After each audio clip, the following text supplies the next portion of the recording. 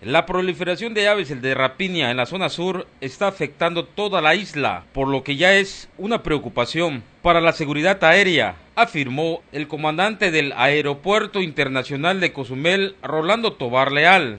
Incidentes con dos naves aéreas de líneas comerciales y una de militares que tuvieron que aterrizar de emergencia enciende los focos rojos en Cozumel. Pues yo creo que esa es una preocupación que, he tenido desde hace meses ya atrás.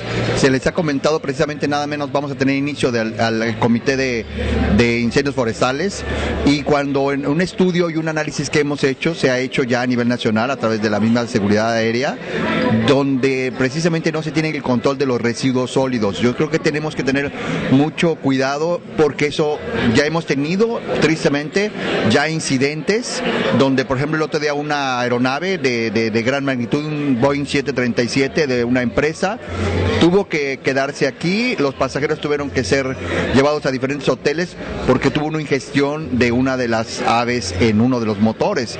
Entonces sí, ya una, otras de las aeronaves ya tuvo daños también la aeronave en sus, de, de, de, la, la, base aérea, sí.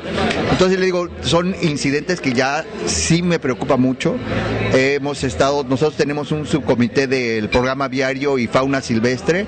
Eh, se ha invitado a las autoridades, afortunadamente estamos trabajando sobre eso.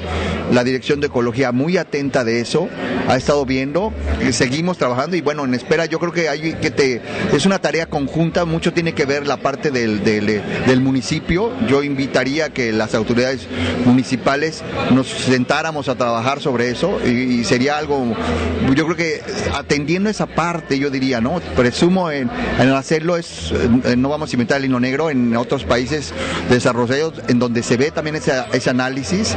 Eh, no lo vamos, porque no, no podemos eh, erradicarlo, pero sí lo vamos a controlar.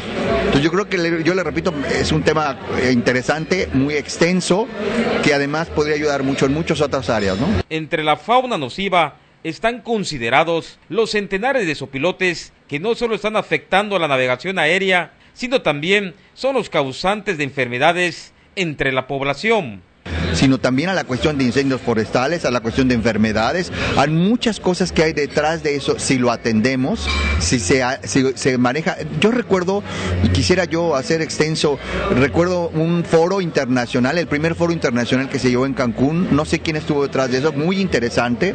Creo, yo me gustaría mucho poder contactar a esa persona, porque creo que es algo que podemos trabajar, debemos trabajar en la isla y que sería fantástico, ¿no? Notivisión Jorge Q, imágenes, Saúl Peñalosa.